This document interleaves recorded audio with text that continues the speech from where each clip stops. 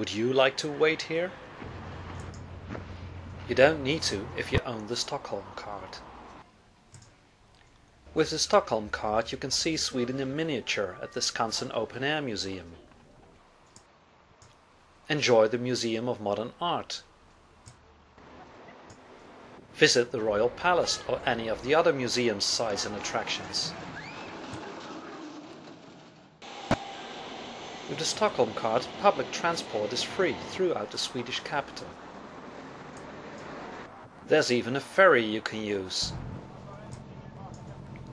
You can visit the Vasa Museum, the Nordic Museum, or Astrid Lindgren's Junibacken, the home of playwright August Strindberg. Boats take you on exciting sightseeing trips, and you get discounts on sightseeing buses. With the Stockholm card you will get the most out of Stockholm.